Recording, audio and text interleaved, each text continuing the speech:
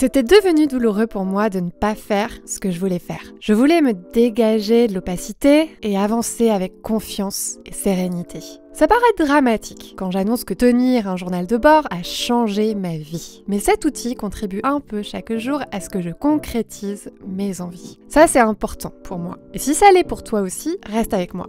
Ces dernières années, j'ai expérimenté avec la méthode du bullet journal en y croisant d'autres préceptes d'organisation. Bon, il a fallu s'accrocher.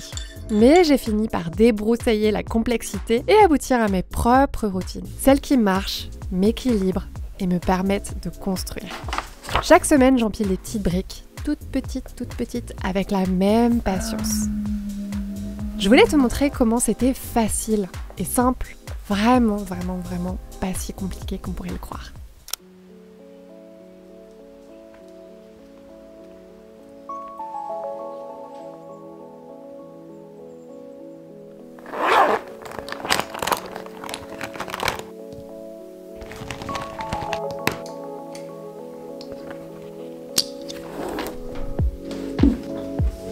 Pour moi, la règle numéro un avec mon journal de bord, mon bullet, c'est vraiment de me simplifier la vie. Chaque semaine, j'ai les mêmes routines, les mêmes choses que je fais encore et encore et encore. Et non, je ne tourne pas en rond, je continue à avancer, enfin j'espère. Je prends en fin de semaine toujours un temps, parfois le vendredi, plus souvent le samedi ou le dimanche. Je vais mettre en situation pour faire le point de la semaine qui s'est écoulée, voir ce que j'ai réalisé, voir ce qui me reste à faire et quelles vont être mes priorités pour la semaine suivante. J'essaie vraiment de réfléchir en termes de priorités, c'est important, de savoir ce sur quoi je me focaliser et j'essaie de ne pas m'éparpiller, de ne pas faire trop de choses. Même si, là, tu vois, pour l'exemple que j'ai pris cette semaine, déjà il y avait pas mal de choses de prévues.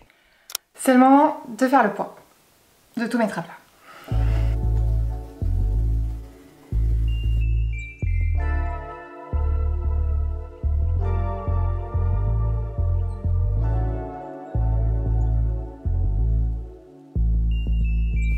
Je prends le temps de me poser, de me souvenir de ce que j'ai fait, des moments marquants dans la semaine. Et puis je repars sur mon planning de la semaine dernière et je regarde ce que j'ai fait, ce que j'ai pas fait. De manière à essayer de me projeter pour la semaine suivante, voir quelles sont mes priorités, comment je vais m'organiser. Et avoir un début de projection de comment sera ma semaine en fait même si ce ne sera pas parfaitement ficelé, j'essaie de voilà, débaucher une espèce de pré-planning. Je regarde quelles sont mes priorités pour la semaine et euh, je vais les lister. Là en ce moment, je suis sur le bouclage et la publication de Bullet Facile qui est Hop. Hop. J'ai l'épreuve ici, je suis encore de bouclage, je t'en reparlerai euh, plus tard dans la vidéo. Et je suis sur la création de cette vidéo, ce qui fait très méta, puisque cette vidéo va se retrouver là dans mon journal. Et euh, il faut que je remette les choses au clair. Est-ce qu'il y a d'autres choses? Non, je vais faire euh, d'autres travaux d'écriture que je vais lister aussi. Mais voilà, je prends le temps de me questionner, de mettre les choses à plat, d'essayer de lister des sous-actions et de me projeter dans la semaine pour voir euh, quel jour je vais faire les choses. Je vais regarder si j'ai des rendez-vous, je crois que je n'ai pas de rendez-vous la semaine prochaine. Et je vais faire le point dans mon, calendrier en tout cas, et puis je re-regarde ma liste de choses à faire, ma to-do, pour euh, voir s'il y a des choses auxquelles il faut que je pense et qu'il faut surtout pas que j'oublie.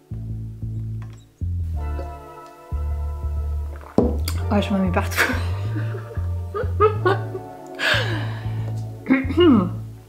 très bien, très bien. Tête songeuse. je réfléchis. Euh, souvent le week-end, j'ai euh, ce pré-planning qui, qui, décompte. Donc je vais laisser comme ça. Je vais laisser les idées arriver. Il faut que je fasse un point aussi sur euh, ce que je veux faire, au niveau euh, vraiment perso-perso. Parce que j'ai un peu de rangement à faire en ce moment. Je voudrais réfléchir aussi à des petits plats que je vais faire la semaine prochaine parce que j'aime bien les décider à l'avance. Mais souvent ça, je me laisse le temps de laisser les idées émerger pendant le week-end. Ça va être chouette cette semaine prochaine, surtout que je fais, je fais une vidéo. ça j'aime bien. Le secret quand je fais ça, c'est de ne pas trop me fixer de tâches. Je sais que ça peut faire un petit peu paresseux dit comme ça, mais j'essaie de me concentrer sur l'essentiel, de faire moins de choses, de prévoir moins d'actions dans la semaine parce que on peut avoir tendance dans cette phase de, de projection à vouloir faire plein de trucs, à se dire oui, je vais tout optimiser, je vais être super organisée et, euh, lancer plein de projets. À vrai dire, en ce moment, j'ai plein de projets dans la tête, mais là justement, l'objet de cette semaine, c'est de me concentrer sur vraiment euh, la finalisation de ce truc, la création de la vidéo où je t'en parle de toute façon, et euh, ma série spéciale de lettres créatives sur ce sujet. Donc je suis vraiment sur une thématique dans la semaine et puis la semaine prochaine je travaillerai sur autre chose. Mais voilà, ça me permet de finaliser des choses que j'avais commencé dans les semaines à venir et de prolonger tout ça, mais sans faire la girouette et travailler sur plein de choses à la fois. Aussi, petit soleil, ce serait sympa de revenir parce que là, c'est tout sombre. Je crois qu'on va avoir du soleil. On va voir ce que nous réserve la semaine. Euh, C'était une semaine finalement assez chargée. lundi 27. J'aime bien déterminer un mot-clé qui va essayer de conduire ma semaine, qui va être en tout cas un point de départ. Cette semaine-là, c'était la joie. Je sais pas si j'étais très joyeuse au final, mais, mais en tout cas, c'était mon intention, c'était mon point de départ.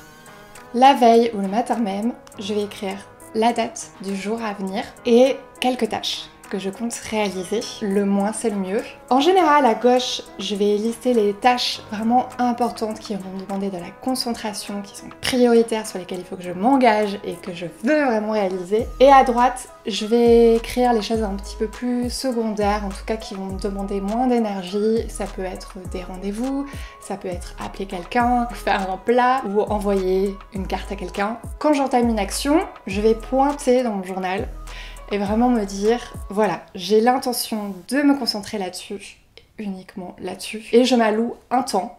Souvent c'est un créneau qui va être assez large, comme une heure et demie, pour des tâches qui me demandent beaucoup de développement. Donc mon tisme aussi, ce sera, ce sera mieux. Mais je me sens pas trop d'humeur à me concentrer pourtant ce matin. Tout va bien se passer. Et une fois que j'ai réalisé cette tâche, je la coche. C'est aussi simple que ça.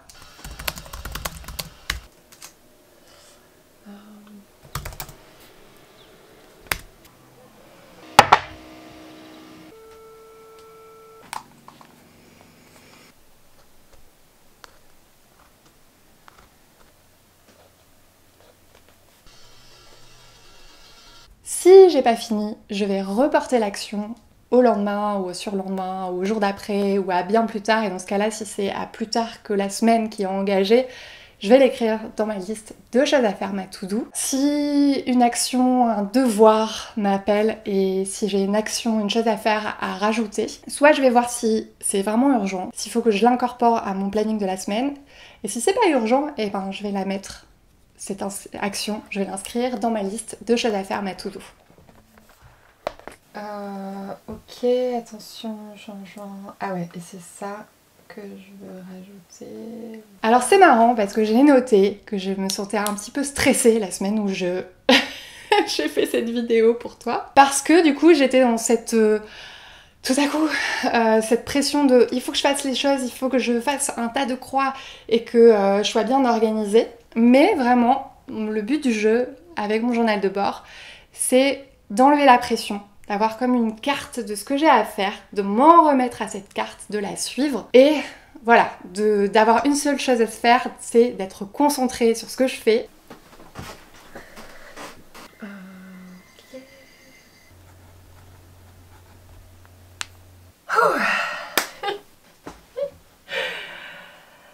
Ça c'est fait.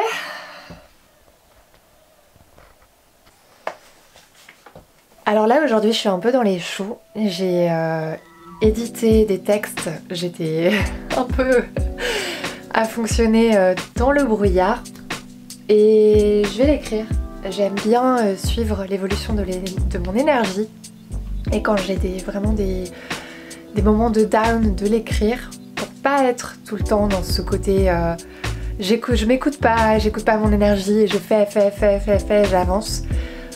C'est une façon pour moi d'être consciente de quand j'ai besoin de me reposer et de me recharger. Et ça, ça c'est hyper important. Ça me permet d'être en éveil et de faire attention justement à, à pas accumuler les jours où je manque d'énergie, où je suis down, pour vraiment faire de la place au repos, histoire de me coucher plus tôt, ou je sais pas, de m'aérer, faire plus de sport, d'activité physique, ou de mieux manger. Pour moi c'est assez important, j'ai noté vraiment une différence à partir du moment où j'ai fait ça. Ça me permet d'être plus à l'écoute de moi-même aussi.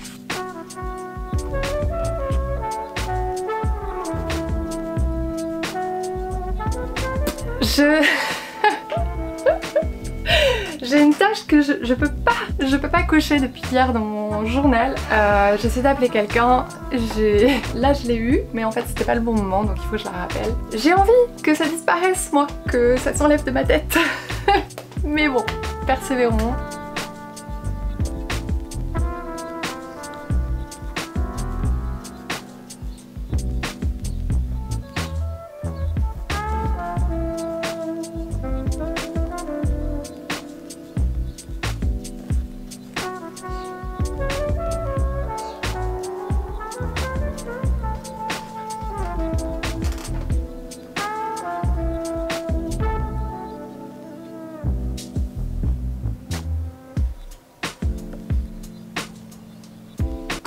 J'ai vraiment un projet sur lequel je vais avoir besoin de développer davantage ou de prendre des notes, d'essayer de réfléchir sur le papier, je vais avoir un carnet complémentaire. Et voilà, j'ai euh, des carnets pour, en fonction de mes types de projets. J'ai l'habitude de m'articuler comme ça. Parfois, si j'ai besoin de renvoyer vers une page précise d'un carnet complémentaire, bah, je vais l'écrire dans mon journal de bord principal. Et ça me permet de zapper, de jongler entre sans me perdre. Et surtout de ne pas étouffer ce journal qui est déjà bien bien mastoc.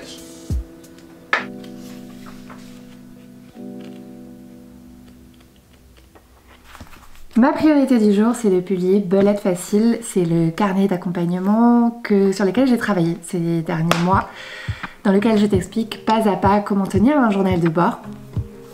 Et euh, c'est un grand jour pour moi, je suis super contente. J'ai relu ce matin en me réveillant la dernière version en essayant de vérifier que il n'y avait aucune pétouille.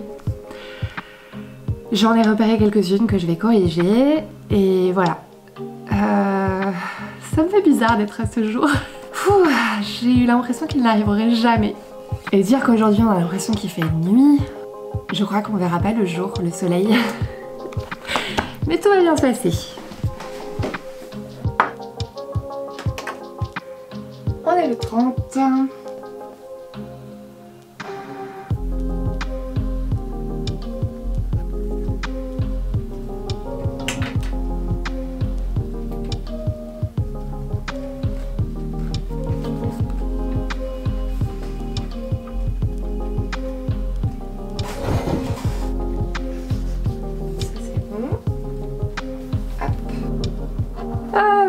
Tellement euh, ouf c'est presque surréel comme moment. Euh, aujourd'hui, je voulais faire la version e-book de ma publication, la solution que j'utilise à insérer des bugs. Donc ce que je vais faire, c'est que je vais reporter cette tâche, je vais l'inscrire dans ma to-do pour plus tard. Et voilà, il n'y a pas d'urgence, c'est pas grave, je peux le faire plus tard. J'y vois vraiment plus clair en fait.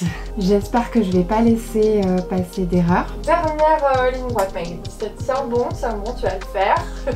Et surtout, entre les moments où je fais des choses, les moments de rien, de vraiment respirer, d'en profiter, d'observer, de, savourer les instants, les petits interstices qui se classent, qui se placent entre les moments où tu fais des choses, histoire de pas être vraiment dans ah, cette espèce de roue du hamster où tu as toujours des trucs à faire et tu penses toujours à ce que tu as à faire.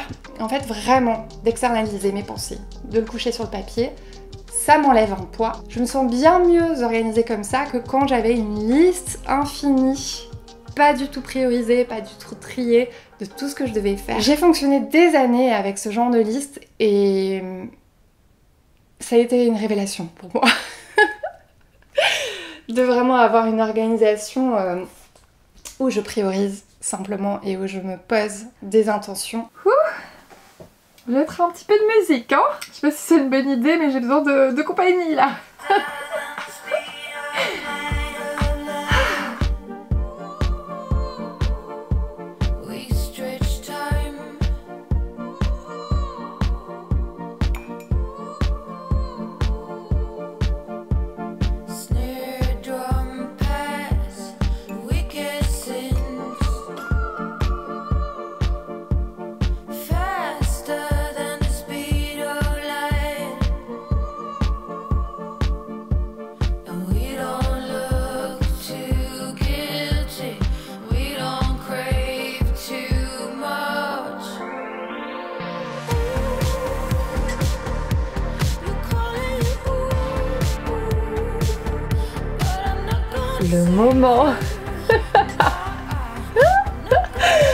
Ah, je crois que le moment de publier cette, euh, ce truc est arrivé. ok, et là voilà, j'en suis à l'étape de j'attends. J'attends. J'ai pu avoir le col que j'avais je voulais passer depuis le début de la semaine là. Ça c'est cool. Alors, il est midi, j'ai le temps de faire euh, d'autres trucs aujourd'hui. Chaque semaine est très différente au final, même si bah, j'ai cette routine qui se répète et qu'à la fin de la semaine, ben voilà, je vais refaire le point. Je vais me reprojeter dans la semaine suivante. Mais souvent, en fait, mes projets ils vont aussi évoluer, mes priorités elles vont évoluer. Et même si certains projets peuvent être très longs, comme celui que j'ai réalisé pour la publication euh, Belette Facile, j'ai pas de côté routinier. C'est, je sens l'évolution, la progression des projets, d'écrire aussi mes réalisations dans mon journal de bord, ça me permet d'apprécier ce que je fais, mes réalisations. J'en ai bien profité cette, semaine- cette semaine. Je pense que j'ai fait pas mal de choses et que je peux être euh, contente. Et voilà, d'être dans l'action d'après, sans pour autant être dans le staccanovisme. J'abats le plus de travail possible. Le truc qu'il faut que je t'avoue, c'est que je suis une workaholic en recovery. je me soigne euh, parce que j'ai eu pendant très longtemps cette tendance à travailler, travailler, faire plus et sentir que je faisais jamais assez. De me dire ce que je fais, je le fais avec intention. Je peux pas tout faire, c'est pas possible. Donc il me faut des priorités. Ah ben, ça m'a aidé à vraiment aller mieux, à équilibrer ma vie, à me sentir plus légère aussi intérieurement, à me concentrer sur ce que moi je juge être l'essentiel. Et ça c'est chouette. Comme tout le monde, il m'arrive de procrastiner sur certaines tâches. Je pense que la procrastination en fait, elle, est universelle.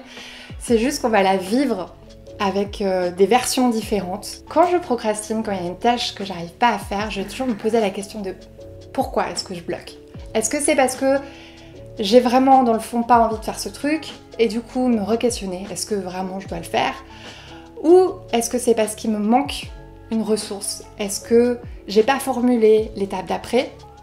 Et le fait de mettre les choses sur pause, d'essayer de décortiquer ce que je fais, pourquoi je le fais pas, ça mène encore une fois à clarifier et à essayer de de pas rester bloqué, à essayer de faire évoluer mes projets. Et in fine aussi à me débarrasser des choses qui sont inutiles. J'essaie de me poser la question en permanence de est-ce que je, ce que je fais un impact, une utilité réelle C'est une façon d'être un peu minimaliste.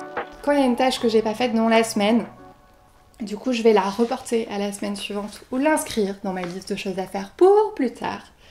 Si c'est pas urgent, le fait d'avoir toujours les mêmes routines, les mêmes euh, habitudes chaque jour, chaque semaine, ça m'aide vraiment à entretenir, à mettre à jour ce journal de bord. Toutes les routines que j'ai, je les ai inscrites dans Belette Facile, qui est la publication que je sors cet été. Si tu as envie de mettre à plat ton organisation au sein d'un journal de bord, d'un belette, tu peux consulter ma publication, tu peux la commander.